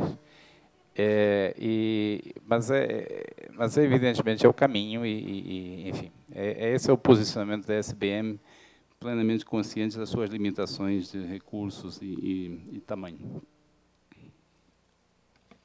Bem, é, em relação à questão da distância entre a universidade e as escolas, eu acho que o abismo está diminuindo, né? E, e aí eu falo assim pela experiência que eu tenho no corredor ao lado e cito aqui uma das pessoas que na minha concepção foi um dos nossos cientistas mais brilhantes, não só do Estado do Rio de Janeiro, do Brasil, mas do mundo, o professor Leopoldo Demeis, né? Que a Débora pode me corrigir, eu não tenho ideia dos anos, mas há 20 anos atrás, que seja 15, 20, sei lá quantos anos exatamente, eu não me recordo dos anos, criou o curso de férias, né?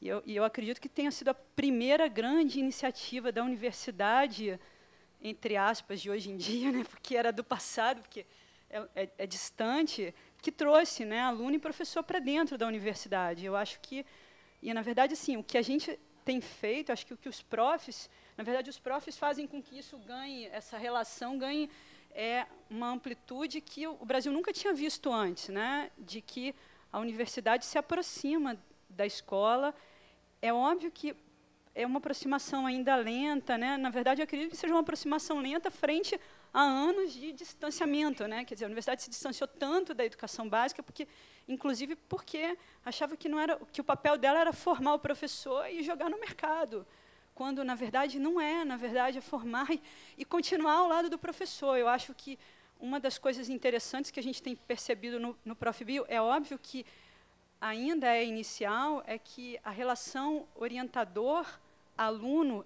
aluno que se transforma em egresso quando defende a dissertação, ela não está terminando ali. Ao contrário, as boas orientações que estão dando certo, em que houve uma comunicação excelente entre o aluno e o orientador, o orientador está indo para a escola do aluno.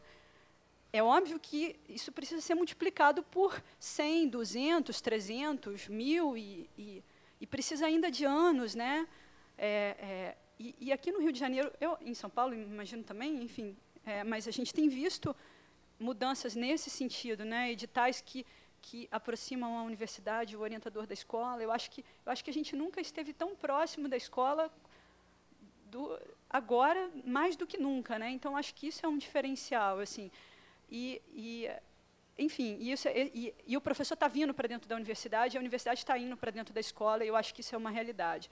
Em relação à questão do conteúdo, eu acho que, que o que a gente percebeu no, no Prof. Bio é que, na verdade, o que o professor mais precisa é, é, é de conteúdo. Né? É, é, na verdade, não só conteúdo propriamente dito, mas ele tem que aprender a se atualizar dentro do conteúdo. Né? E, e, não tem como desenvolver material didático sem pensar em conteúdo. E, e, e tem o outro lado da moeda, né? a questão de atrair o aluno, o que a gente tem percebido é que não é fácil atrair o aluno. Assim, é, alguns dos materiais didáticos que a gente desenvolveu, percebemos claramente que atrai. Outros tem que fazer, continuar fazendo alguma ginástica. Né? Eu acho que, que, que é, é uma missão, é um desafio é, produzir material de fato que atrai o aluno dentro do ambiente escolar. Mas também eu acho que o ambiente escolar ainda está muito engessado não tem flexibilidade, o, o próprio professor não tem relação, não tem flexibilidade dentro do ambiente esco escolar. Isso, isso é um problema que a gente tem, tem percebido claramente para adotar não só as estratégias que ele aprende nos cursos de mestrado profissional, mas também os materiais elaborados, ou mesmo materiais que ele pensaria em tentar e conseguir elaborar em sala de aula, agora que ele tem um pouco mais de conteúdo, que ele consegue se atualizar sozinho, que ele consegue buscar informação ele não consegue por quê? Porque ele está preso a um currículo que é extremamente engessado, nada flexível, que é uma coisa que precisa. Ele está preso às avaliações, que também são extremamente é, engessadas e, e, quase que bancárias. Né? Enfim, então, ele, é, o professor também está é, é, é sentindo essa, essa questão toda da questão da motivação, né? Como chegar ao aluno? Eu acho que como chegar ao aluno é a pergunta que a gente se faz diariamente, né? A gente tem que chegar lá no aluno, né? Mais do que chegar no professor, é chegar no aluno. Mas aí eu acho que depende de muitas mudanças que envolve, por exemplo, as secretarias, os governos, é, o investimento, o que, que a gente vai fazer para usar tudo isso, dependendo de internet, de recursos de informática nas escolas. Eu realmente eu não sei se a gente tem uma resposta para essa sua pergunta, mas acho que é, é, talvez daqui a alguns cinco ou dez anos, com professores muito bem formados e que estejam tentando mudar suas realidades escolares, a gente também mude os governos, mude as secretarias de educação, mude o MEC. Não sei se cobrar o MEC é, diretamente vai resolver, ou a gente vai conseguir cobrar diretamente ao MEC. A gente, há três semanas atrás, recebeu uma visita do MEC e cobramos da visita do MEC é, é, é a continuação do programa Reúne e os investimentos para os campi, fora de sede, para os campi que foram criados dentro do programa de expansão das universidades públicas federais. E, assim, as pessoas do MEC que vêm nos visitar, até a nossa realidade da sala de aula das universidades, eles mal sabem o que é o programa Reúne, que dirá o, como é que o MEC lida com essa situação. Então, eu, eu, eu realmente, assim, eu, Juliane, particularmente, não tenho uma resposta para a sua pergunta de como é que a gente vai lidar com isso. E, na verdade, a sua pergunta é uma pergunta diária dos nossos alunos.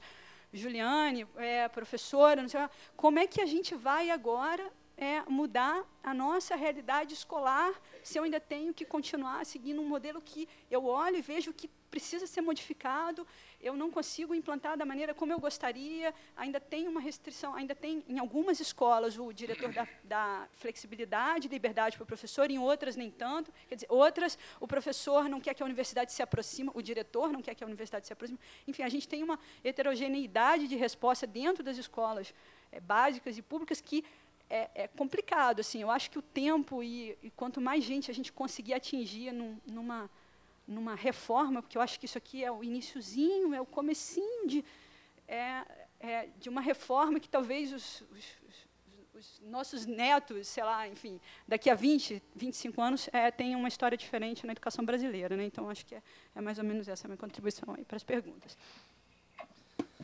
Bem, eu vou tentar ser bem rápido, tá, para dar oportunidade para as outras pessoas também fazerem perguntas, mas uh, os três assuntos que foram colocados, as três perguntas, elas, cada uma delas poderia gerar uma discussão de horas aqui. A gente podia fazer um seminário, né? A primeira é a questão de como a gente pode equipar melhores laboratórios, como a gente resolve o problema de não ter internet nas escolas e assim por diante. A minha, a minha resposta para ti é, é, se a gente soubesse como resolver isso, eu acredito que a gente faria. Claro que precisa de investimento. E, infelizmente, o governo não faz a parte dele. Ou se faz, faz mal feito. Tá? Ah, a gente tem infraestrutura de telecomunicações no Brasil que chega a ser uma piada. Né? Há cinco anos atrás, eu fui fazer meu pós-doutorado na Inglaterra. Eu não precisava internet em casa, eu usava o meu 3G como roteador.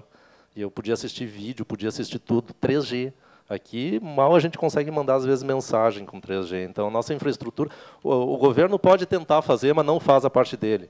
Então, para ti, a resposta é a gente tem que pressionar o governo para que ele coloque o recurso no lugar certo. Né? E a gente tem visto nos últimos anos que o recurso não vai para o lugar certo, infelizmente. Tá? Uh, em relação à computação, a gente pode ensinar a computação, isso era uma das mensagens que eu queria passar também para todos, é a gente pode ensinar a computação sem computador. Né? Uh, computação pode ser ensinado Resolução de problemas. A gente tem diversos problemas, é só uma questão de sistematizar a forma como a gente resolve problemas. Então, uh, claro que ter internet, ter computador, isso é essencial para qualquer área, não só para computação, é essencial para matemática hoje em dia, para todas as áreas. Quanto aos mestrados profissionais, uh, como resolver os problemas associados, eu, eu acho que a gente ainda está uh, aprendendo. Né? Se a gente olhar para o mestrado profissional como um todo, não só para capacitar professores. Né? Uh, eu sou coordenadora adjunto para mestrados profissionais na área de computação. E essa é uma pergunta que a gente faz, assim, para que, que serve o mestrado profissional? Né? A gente tem que estar tá próximo ao eu acho que foi colocado aqui, ao mercado, né? seja de educação, seja uh, da área de computação, seja de engenharia. Qual é o objetivo? Eu acho que uma vez estando bem definido qual é o objetivo do mestrado, o que, que vocês estão querendo com o mestrado, e deixar isso claro para o aluno, eu acho que é, é, é, esse que é o principal. Uh, mas a gente está aprendendo ainda, tem, tem muitos problemas sim associados. Uh, eu, eu realmente acredito que Uh, daqui a uns anos a gente vai estar tá, tá, tá bem melhor nesse sentido, uh, porque foi mencionado também, né, tem muita gente que avalia o mestrado profissional ainda junto com o acadêmico. Claramente as áreas que fazem isso não estão entendendo o que, que é um mestrado profissional. Ele não pode ser um acadêmico fraco, ele não pode ser uma questão só de avaliação de produção científica. Então tem, tem algo a ser feito. eu sei que era uma pergunta para matemática. Né? Como é que a gente faz para rever o interesse do aluno? Isso a gente se pergunta todo dia na universidade também. Né? Como é que a gente faz para... Eu, eu, ministro as aulas na, na graduação, lá, lá na PUC, e fico pensando assim, como é que eu faço para o aluno realmente estar tá interessado nessa aula? Uh, a primeira, primeiro aspecto que eu levei em consideração, acredito que muita gente faz isso, é o aluno é, uma, é um aluno diferente hoje em dia. Né? A gente tem que ser muito mais centrado no aluno. O professor ele é um mero mediador. A informação o aluno tem, e o aluno tem desde dois, três anos. Então, como é que a gente faz para uh, ah, pegar essa informação e mediar essa informação que ele tem acesso de uma maneira uh, apropriada? Tá? E, e, essa questão de motivação ela não é uma, um problema no Brasil. Eu acredito que é um problema no, no mundo todo. Né?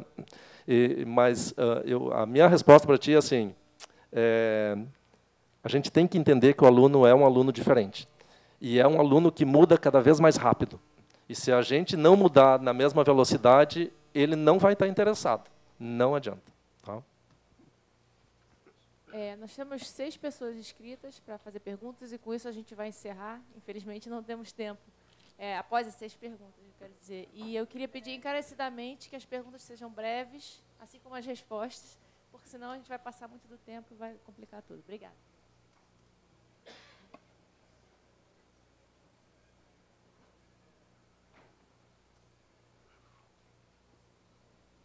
Vou ser bastante rápida. Eu sou Yuriko eu sou da Universidade Federal de São Carlos. Eu sou do mestrado profissional de matemática. Na nossa universidade temos também um Profimate e foi muito interessante e eu quero aproveitar essa oportunidade que temos várias sociedades científicas para colocar uma sugestão que vem sendo debatido, inclusive eu tive bastante repercussão, assim, de apoio no Simpósio Nacional de Professores da, de Matemática, o ANPMAT, e também num projeto de formação continuada que estou incluindo no OBMEP, apoiado pelo IMPA, que é o seguinte, nós estamos formando muitos professores, mestrados profissionais. Já foi, ficou bem claro para nós que estamos aqui, que mestrado profissional não é para trazer para a academia, mas sim para melhorar o ensino, em geral, de todas as áreas. Estão todas as sociedades presentes. Então, o número está sendo bastante impressionante. Tantos inscritos, isso mostra o interesse das pessoas pela necessidade de mestrado profissional. Mas o número de formados, apesar de ser milhares, nós temos que dar um significado para para que, que eles estão tirando esse título de mestre em, em ensino. Ensino, seja de física, de computação, de química, de biologia ou de matemática. Eu acho que para impactar as escolas e por conseguinte, as, a, a, os alunos, não é tarefa da universidade que está oferecendo, as instituições que estão oferecendo o curso de mestrado profissional, se aproximar mais, porque nós não conseguimos entrar na sala de aula. Quem entra na sala de aula é o professor. Mas nós estamos capacitando os mestrados profissionais. Então, por que não dar, não fazer um movimento de direcionamento político junto ao MEC, também para a sociedade da comunidade científica, para valorizar esses nossos mestres, ou seja, implantar um programa do tipo residência para que os nossos mestres sejam os, digamos, treinadores dos treinadores, nos seus próprios lugares. Porque aí os nossos mestres terão posição de liderança nas suas sociedades, nas secretarias municipais, porque eles são professores da rede. Eles são os professores das escolas. Os coordenadores pedagógicos que têm conhecimento de conteúdo e de currículo, para poder implantar também essa base nacional comum que nós estamos discutindo, não nada vai funcionar se os gestores e os coordenadores não tiverem conhecimento do conteúdo que nós estamos discutindo. E seria essa a posição para multiplicar que os nossos batalhões de mestres profissionais seriam as pessoas para levar essas nossas ideias da academia efetivamente estando lá na, no sistema escolar.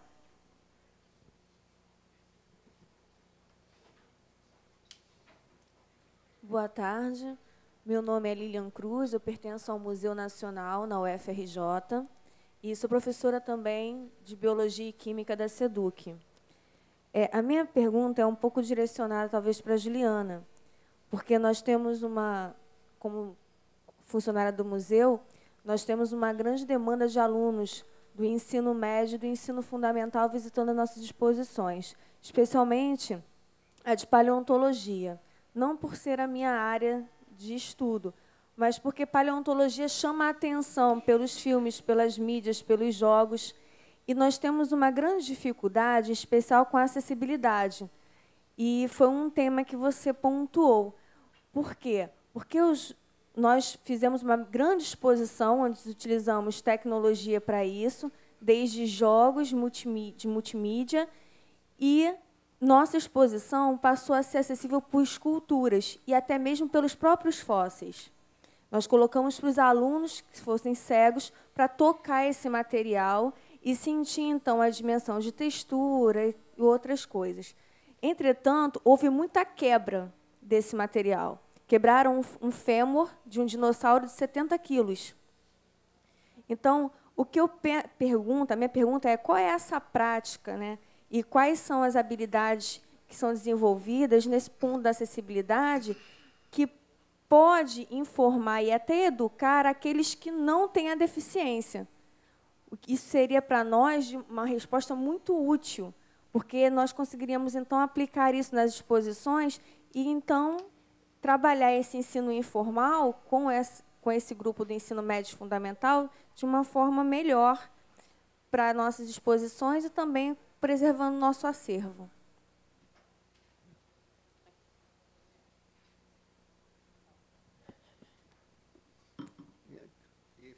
May, I would like to speak in English because my Portuguese is very bad.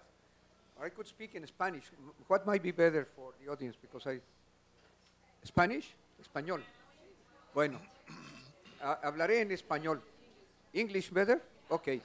So let's move to English. But can you speak closer to the microphone, please? Yes, yes, thank you.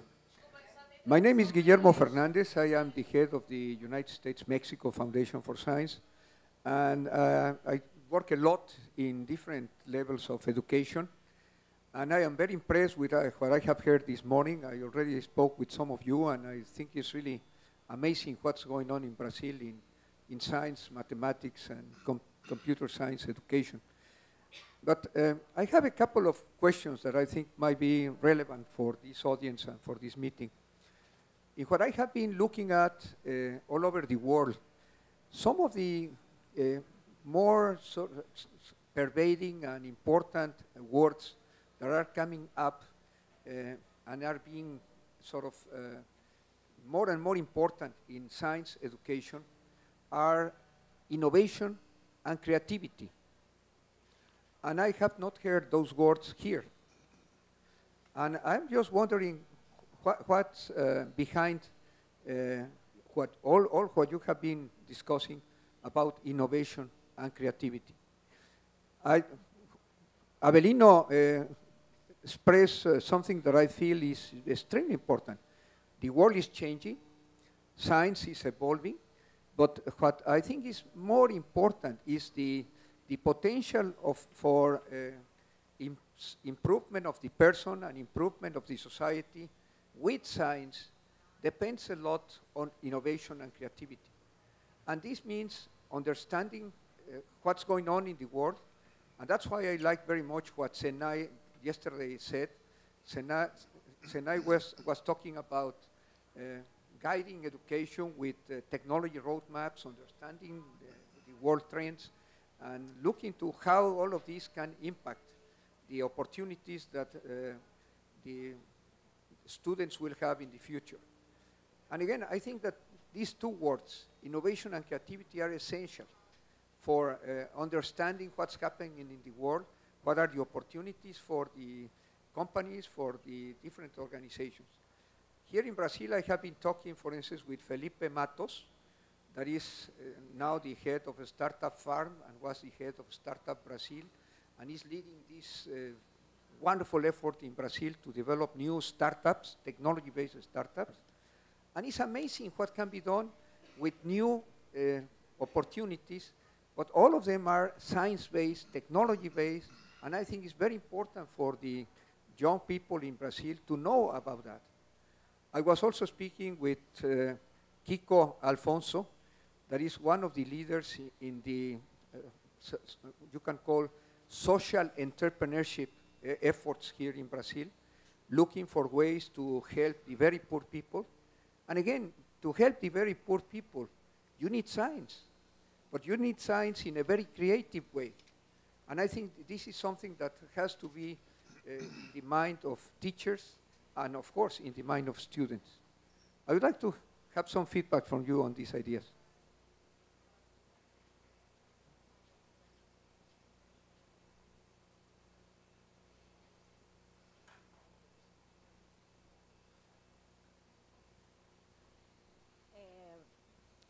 Eu sou da Universidade Estadual do Rio de Janeiro. É, eu queria falar uma observação só. Eu gostei muito das palestras, tanto ontem quanto hoje, das colocações. Eu queria falar na importância da li licenciatura. A licenciatura, ela também sofre é, uma coisa de preconceito que os cursos de matemáticas que é o meu caso, a minha área, sempre foram feitos é, segundo bacharelado. O foco era o bacharelado e a licenciatura era para quem não peitava o bacharelado, como eles falavam. Né? É, na época que eu fiz, na década de 70, era assim e ainda hoje se encontra muito isso. Na minha universidade, você tem o preconceito ainda forte. Então, eu queria chamar a atenção para os cursos de licenciatura começarem a trabalhar os conteúdos que os professores vão trabalhar em sala de aula, né? Precisa de ser feito isso. É só essa observação. É, bom dia. É, são três perguntas bem rápidas e pontuais. A primeira, principalmente para o professor Marco Antônio, que falou bastante dos produtos do mestrado profissional. E eu sou Evelise, da Fundação Oswaldo Cruz. E como professora de pós-graduação, né, eu percebo muito um, um, certo direcionamento para a produção de produtos concretos, como a história em quadrinho, como software, e há muito pouca atenção à questão, por exemplo, de propostas pedagógicas contextualizadas. Então, eu gostaria que o senhor falasse um pouquinho mais sobre isso na proposta do mestrado, do mestrado profissional.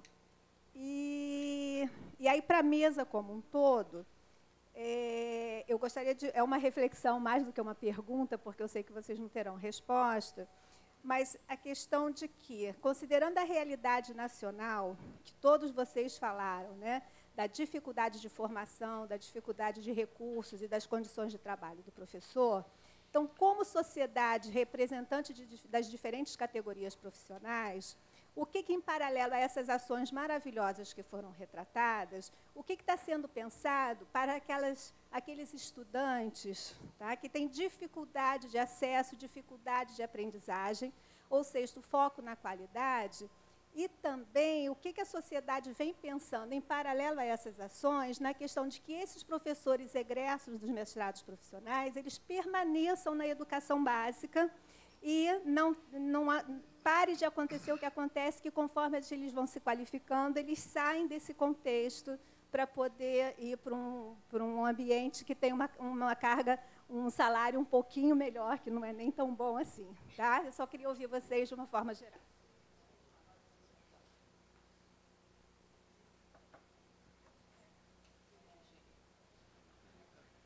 Eu queria abordar também essa questão da licenciatura, mas com um viés um pouquinho diferente do que foi falado agora. Os mestrados profissionais têm tido uma atuação muito importante né, no aperfeiçoamento de professores. E com isso estão atingindo milhares de professores, outros milhares de estudantes, indiretamente, né? Só que, como mencionou o Marcelo, são 50 milhões de estudantes aqui no Brasil. E, e uma intervenção mais profunda seria através de cursos de licenciatura. Dizer, então, a pergunta é como é que as sociedades científicas podem influenciar esses cursos de licenciatura, mudar os cursos de licenciatura, no sentido de implementar as ideias e práticas que foram mencionadas pelo Marco Antônio aqui, e ideias e práticas que me parecem que são muito distantes, estão muito distantes do conteúdo e da, da maneira de ensinar da maioria dos cursos de licenciatura aqui no Brasil. Então, a pergunta é essa, dizer, como é que a gente chega nesses cursos, né, através da sociedade científica? Podemos começar a rodada de respostas de novo? De novo, eu começo. Mais breve possível, por favor. Bom, eu vou comentar só essa, são três, acho, uh, referentes à questão da licenciatura é um recente é, artigo que foi publicado na Química Nova pelo professor, nosso querido colega Ângelo da Cunha Pinto, e mais alguns colegas. É, levantamento de que nós temos 75% dos licenciados em Química não atuam no magistério, eles acabam sendo formados e não atuam no magistério. Nós temos um problema grave né, para ser levantado aqui na questão da formação para começar aí, é a questão da valorização do profissional que está no ensino médio, né? da, da, da, talvez da, da, do repensar, né? como esses autores colocaram, do repensar da nossa licenciatura como tal, né? de como nós recebemos esse aluno, como é que nós devolvemos esse profissional. É, na minha uh, instituição, de novo, exemplos pontuais têm sua validades mas na minha unidade eu tenho 60 vagas de entrada para licenciatura, 60 vagas de entrada para, desculpa, 30 vagas de licenciatura noturna, 30 vagas de licenciatura é, bacharel no noturno e, e, e no, no, diurno era livre. Uh, a, a, o abandono, a evasão da licenciatura era tão grande que nós tivemos que modificar isso. Quer dizer, o, o aluno entra, é, pela licenciatura buscando bacharel. Na verdade, ele pulava de, de, de, de estatura. Bom, enfim, são problemas que nós temos que repensar com relação à valorização dessa licenciatura. Como disse a colega aqui, é, com relação ao profissional, como, como é, que um, um professor é, pode ser é, é, estimulado a participar ou não de um é, mestrado profissional depois de formado. É, em anos recentes, o Estado de São Paulo, é, o governo tentou fazer uma modificação, você deve saber, para tentar valorizar através da recapacitação, mas não foi uma coisa que é, resultou em grandes. É, talvez você tenha mais dados do que eu, mas não foi muito bem sucedida. Há que se criar é, mecanismos, como a colega colocou, para tentar é, incentivar essa recapacitação ao mesmo tempo que nós temos que pensar a nossa licenciatura.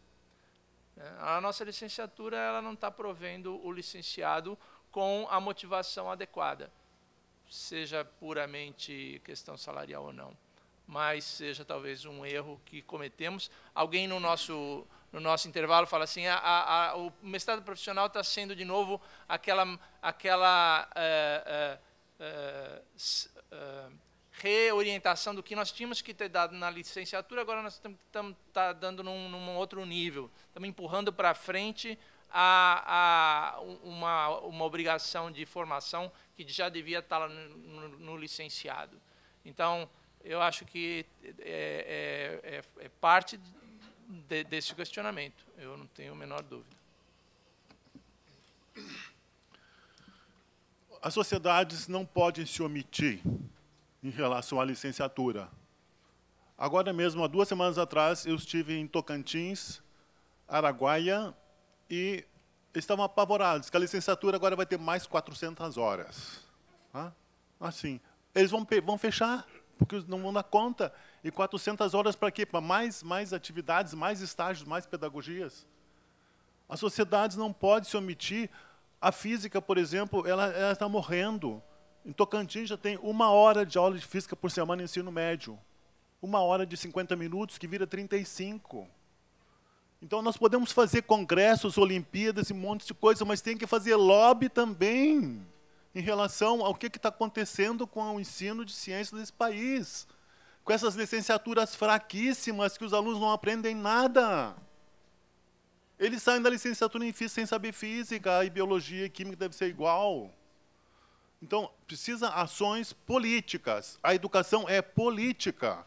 E as sociedades têm que fazer ações políticas, não só congressos ou mestrados e outras coisas. Ah, isso tem a ver um pouco também com a professora falou da questão dos professores que não têm espaço para defender e mostrar suas ações.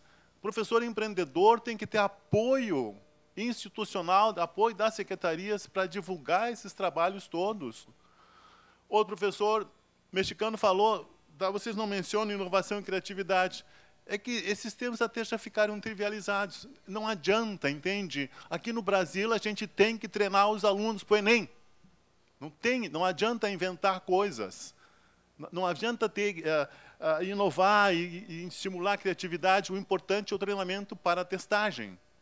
Isso não é só Brasil, isso é internacional. Já tem um termo consagrado, é o Teaching for Testing. É só isso. Preparar os alunos para os testes, para os testes. E o que tem por trás? Preparação para o mercado, simplesmente. Tá? Outra coisa é o publicacionismo exacerbado. Publicacionismo exacerbado está acabando com a criatividade na ciência. Nenhum cientista jovem quer fazer algo arriscado. Ele vai fazer só uma coisa que vai gerar um paper. Isso está acabando com a criatividade. Isso é internacional, mas é do Brasil também. Os jovens físicos e outros cientistas, eles não, não podem se arriscar, porque ele perde espaço na publicação. Eu, eu acho que era isso que eu teria a comentar agora. É, de, deixa eu dar alguns números sobre a licenciatura em matemática. É, o nosso sistema de universidades públicas forma 5% dos licenciados em matemática no país. A partir da entrada em, em funcionamento da universidade aberta, com ensino à distância, somamos, que, que, são redes de, é uma rede de instituições federais, essencialmente federais, é, somamos 15% a essa parcela. Então, 5% no presencial, 15% no ensino à distância, o setor público contribui com 20% da formação de licenciatura. Os outros 80% vêm das universidades e faculdades privadas e é, é sabedoria popular que é, a qualidade é invariavelmente ruim. Nós temos experiência na, por meio do exame de ingresso no Profimat, porque nós identificamos a instituição que concedeu o diploma de licenciatura para os nossos candidatos. Estamos cansados de ver faculdades de educação é, terem 100% de reprovações, de provas zeradas no, no exame do Profimat, que, por outro lado, colegas acusam de ser muito simples, muito fácil, muito elementar, inclusive quando 30% ou 40% dos egressos da sua licenciatura em Universidade Federal também zeram e também reprovam no exame de ingresso. Então, a licenciatura em matemática está no mato sem cachorro. Não tem para onde correr. É, o Luiz pergunta o que, o que a gente faz para mudar. Bom, as nossas universidades federais são autônomas e são formadas por nós mesmos. Então, se nós queremos mudar as, as licenciaturas, mudemos. Já foi dito aqui que licenciatura é bacharelado de segunda. Enquanto for, não haverá mudança. Enquanto for essa visão, enquanto um cientista que se envolve, se preocupa com questões do ensino, tem a, sua reputação afetada, porque se, se, o cara fosse bom, ia estar pensando nessas coisas, ia estar fazendo paper, mais paper, é, não vai mudar. A primeira mudança é cultural.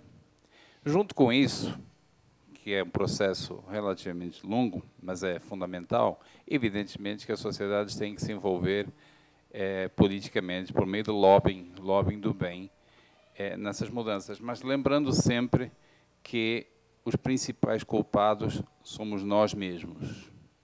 Pelo menos na esfera pública das universidades federais, nós não mudamos as licenciaturas porque não queremos.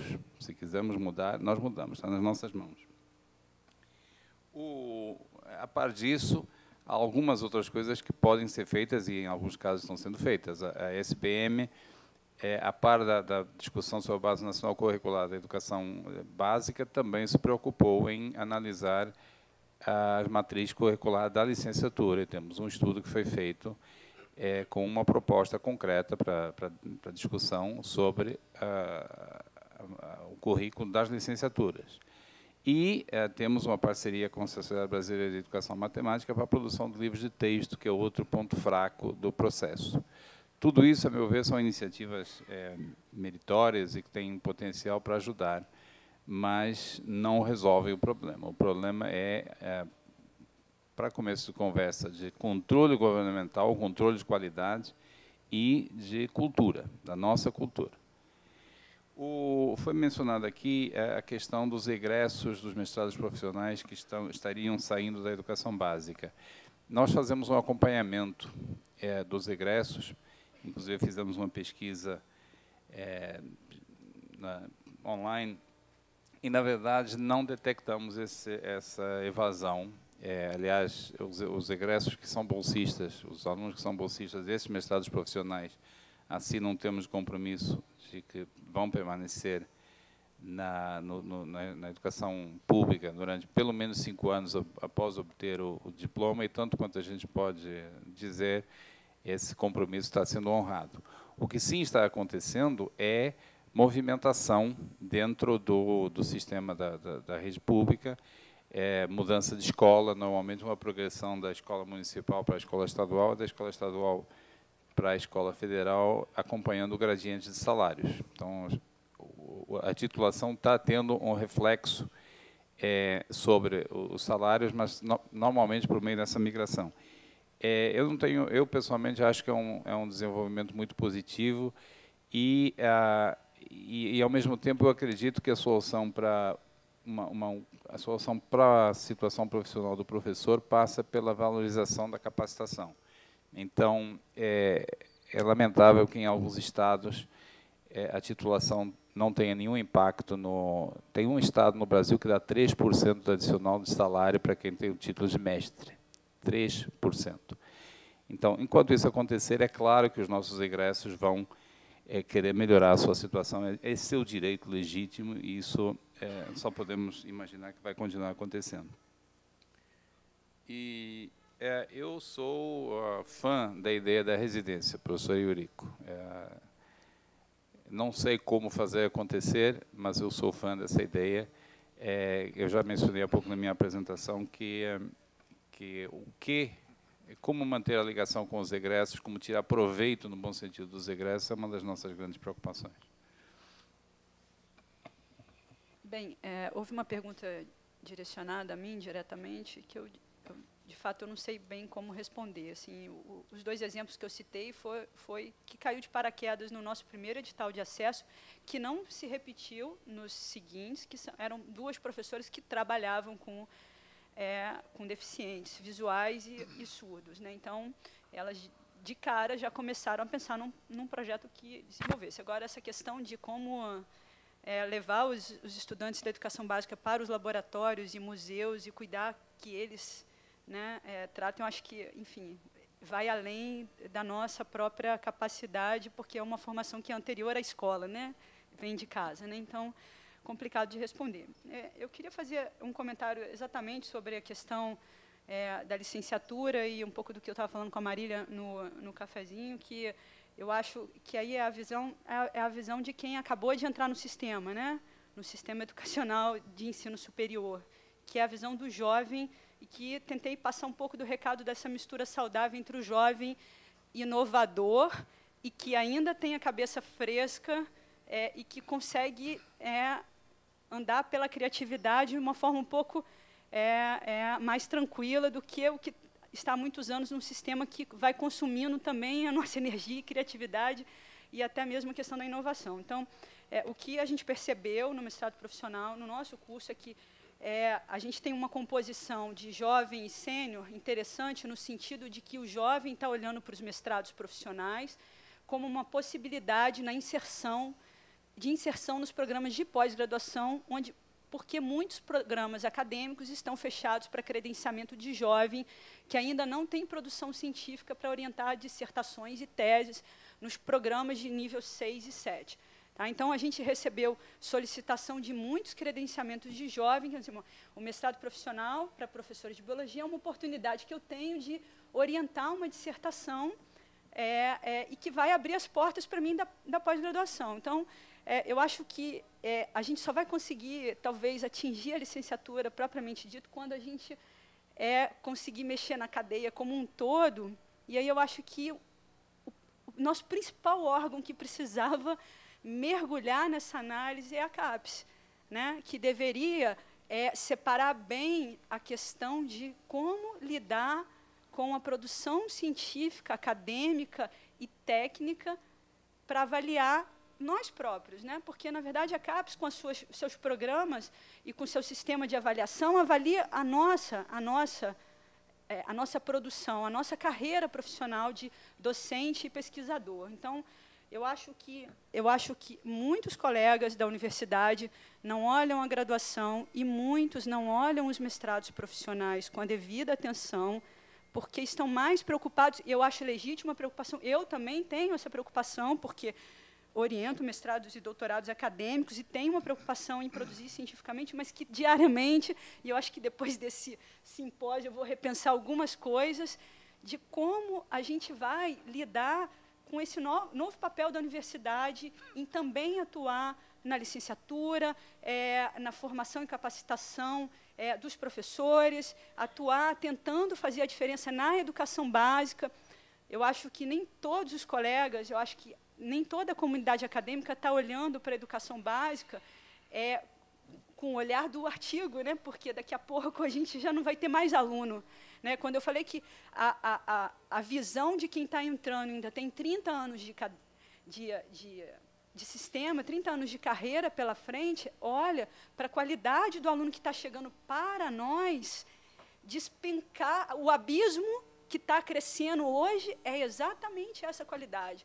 Eu dou aula no primeiro período da graduação, em cursos de ciências biológicas, voltados para a área nanobiotecnológica, de uma disciplina que é crucial, chamada biologia celular, e que antigamente a gente achava que o aluno saía do ensino médio sabendo que era uma célula. Hoje o aluno escolhe ciências biológicas, faz o Enem para ciências biológicas, chega na universidade e não sabe o que é uma célula. Opa! E eu vou ser bem sincero, no primeiro dia de aula eu peço para desenhar uma célula e ele não consegue desenhar uma célula. Então, assim, é, eu me pergunto se eu sabia desenhar uma célula quando eu entrei no, na universidade em 1995.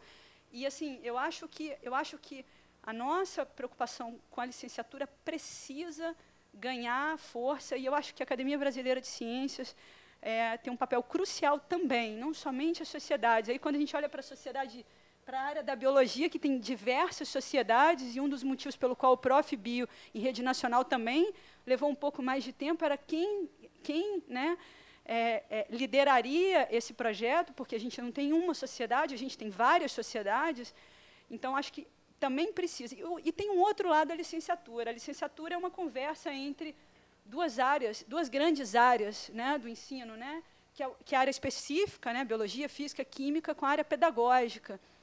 E, infelizmente, a conversa da área específica com a área pedagógica, eu acho que atualmente não é, é não é muito, é, é pouco é pouco real assim. Eu acho que não existe, né? Eu não sei como era antigamente, mas hoje assim, toda vez que a gente tentou se comunicar em alguma de alguma maneira com a área da pedagogia, tivemos um impasse entre o conteúdo específico e o conteúdo pedagógico. A gente não se entende. Na verdade, é, esse, é, é essa frase: a gente não se entende. E eu acho que para reformar os cursos de licenciatura e a própria visão da universidade em relação à licenciatura, essa é uma conversa que precisa haver de forma bastante efetiva e profunda. Então, acho que que, sim, agora definitivamente é, os profs são um, uma solução. Os profs é, é um são, é um projeto né, é, de melhoria da educação significativo, mas os profs resultariam em muito mais excelência se a gente tivesse bons cursos de licenciatura. Porque os profs vieram para quê? Para resolver um problema que a licenciatura joga para frente. Né? A gente termina a licenciatura e está jogando para a pós-graduação a missão de consertar o que a licenciatura criou de errado. Então, a gente está sempre trabalhando um nível abaixo, né? Quer dizer, chega na pós-graduação, mas com um aluno que ainda não devia ter saído da licenciatura, né? Que é o que o, o, a Academia Brasileira de Ciências, no documento de 2004, 5, 6, 7, sei lá, não me lembro o ano agora, certamente falou, né? Os alunos saem do ensino médio e entram no ensino superior, mas são alunos com formação de ensino fundamental. Os nossos professores da educação básica saem da licenciatura, mas com formação de ensino médio, né? E entram na pós-graduação. E aí a gente tem que solucionar o problema. Quer dizer, a gente está sempre um passo atrás na formação. Então, eu não sei, assim, eu acho que a gente tem uma missão é, gigante pela frente e eu, eu, assim, eu acho que como uma representante jovem, não estou é, fazendo é, é, descaso das, dos meus companheiros de mesa mais mais sênios do que eu, até porque ultimamente eu me acho sênior, é, mas eu estou ficando velha. Mas eu acho que assim, eu acho que se eu tivesse que apostar, eu apostaria muito nos jovens que estão entrando na universidade hoje. Eles têm uma visão dos profs diferente.